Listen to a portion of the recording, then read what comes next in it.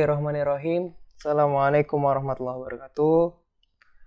Hari ini saya akan men-share, berbagi bagaimana cara memindahkan tugas dari LKS atau dari buku ke dalam classroom atau tugas yang lalu sudah diberikan oleh guru kalian lalu diminta untuk di submit atau dikirim ke classroom. Oke, langsung kita masuk ke tahap yang pertama yaitu siapkan LKS masing-masing. Ini contohnya ada LKS dari ilmu pengetahuan sosial ya. Terus kemudian yang kedua, silahkan buka uji kompetensi yang diminta ya yang lalu sudah diminta untuk dikerjakan dan pastikan kamu sudah menjawab uji kompetensi tersebut atau tugas tersebut karena pasti akan dinilai ketika saat masuk. Kemudian buka Google Classroom atau www.google.classroom.com. Ya. Sekarang kita masuk ke Google Classroom. Sebelumnya kita masuk dulu ke akun Google kita. Ya, kalau sudah masuk.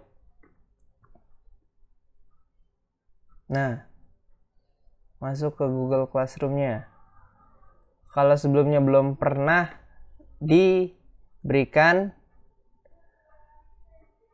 uh, kode kelasnya, maka di sini nanti ada tulisan join group, join class, ya.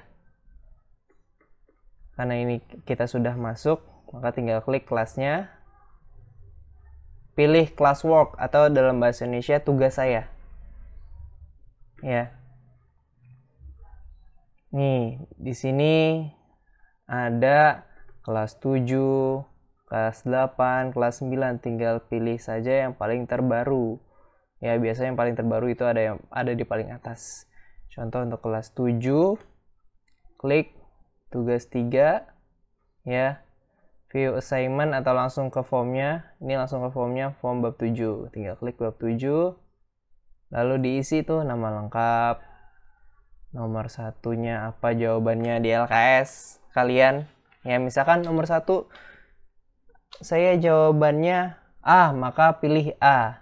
Atau nomor satu jawabannya B atau C silakan pilih.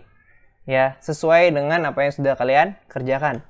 Ya terus nomor duanya terus sampai ke esai. Kalau sudah silakan kirim. Ya kirim.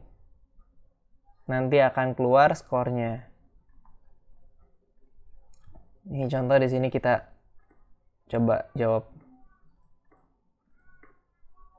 Ya. Sampai akhir dulu.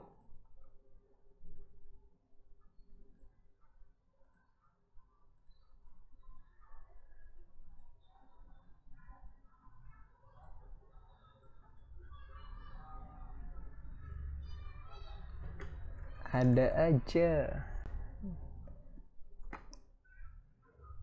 tidak. A D S C B D. Oh iya sebelumnya lihat juga dari instruksi sebelumnya nih. Di sini lihat dulu view assignmentnya.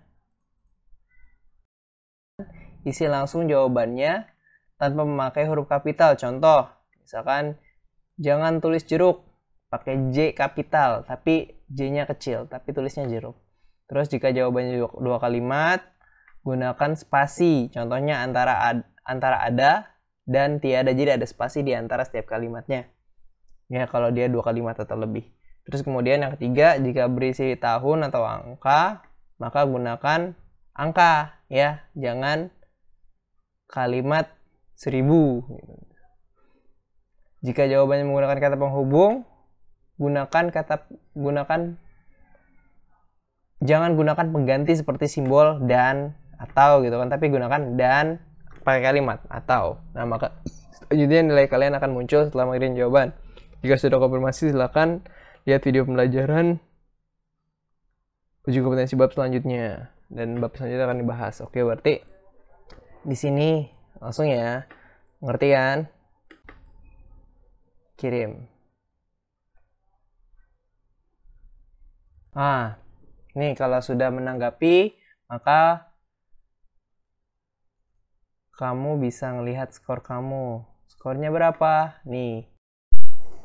Kalian dapat skor 9 dari 100. Cukup sekian, semoga bermanfaat.